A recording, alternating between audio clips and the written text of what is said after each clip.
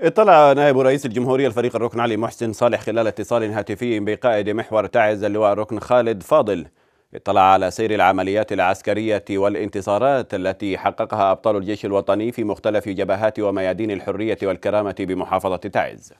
وحي نائب الرئيس خلال الاتصال قيادة المحور وقادة الوحدات والألوية العسكرية والضباط والصف والجنود وكل المواطنين الشرفاء الذين سجلوا ببسالتهم وإخلاصهم ملاحم خالدة ضد ميليشيات الكهنوت الحوثية التي تمارس منذ سنوات أبشع الجرائم بحق أبناء المحافظة واليمنيين بشكل عام. وتتعمد تهديد أمن اليمني اليمن والإقليم والملاحة الدولية ومصادر الطاقة العالمية بإطلاق الطائرات المسيرة والصواريخ البالستية والزوارق المفخخة.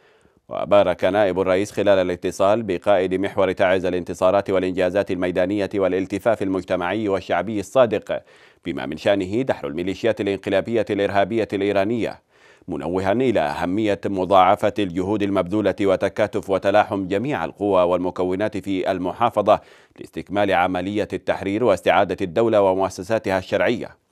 كما عبر نائب رئيس الجمهورية عن تقديره الأخوي للدعم والإسناد الذي يقدمه تحالف دعم الشرعية بقيادة المملكة العربية السعودية الشقيقة ودورهم الكبير في مساندة الشرعية وأبناء الشعب اليمني.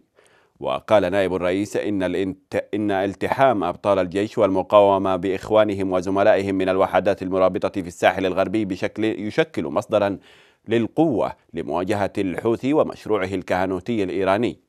وأشار نائب الرئيس إلى المواقف الوطنية والنضالية والبطولات التي سطرها أبناء محافظة تعز الآبية مع بقية محافظات اليمن في مختلف ميادين العزة والحرية مؤكدا بأن هذه التضحيات الغالية والبطولات الأسطورية التي يجترحها خيرة رجال وأحرار اليمن سيسجلها التاريخ في صفحاته المشرقة وستظل محط تقدير القيادة السياسية وكل الأجيال اليمنية من جانبه عرض قائد محور تعز خلال الاتصال تقريرا موجزا عن سير العمليات العسكرية والمعنويات القتالية التي يتحلى بها المقاتلون البواسل وما أحرزوه من انتصارات ميدانية لافتا إلى التضحيات الخالدة للأبطال والدعم الأخوي للأشقاء في التحالف والتفاف وتكاتف أبناء المحافظة لمواجهة مشروع إيران التخريبي في اليمن والمنطقة.